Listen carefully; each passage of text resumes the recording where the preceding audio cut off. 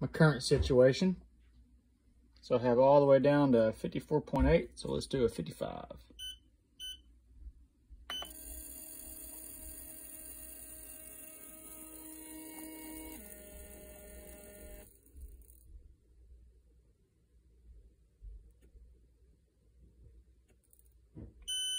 All right.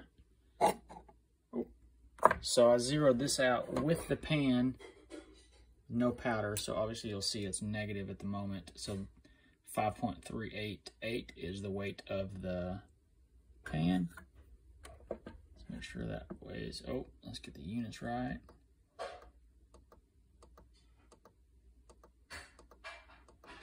There we go, 5.508.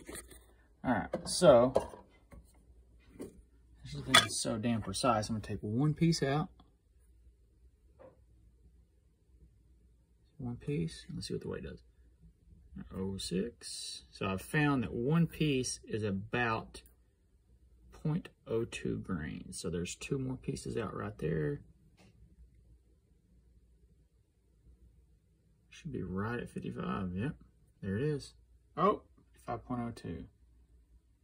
Let's hold. You see the little circle right there? That's the hold function.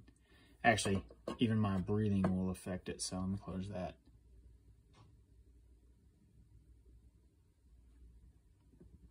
Two. Let's go. Let's pull one out and see what happens.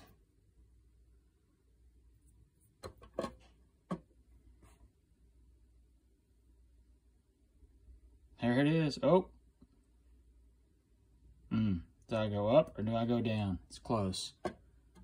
I'm going to go, I'm going to add one more back to it. Nah, screw it. I'm just going to leave it. All right, well, here we go.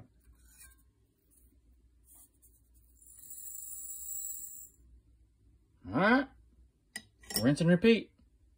Next one will be 55.2.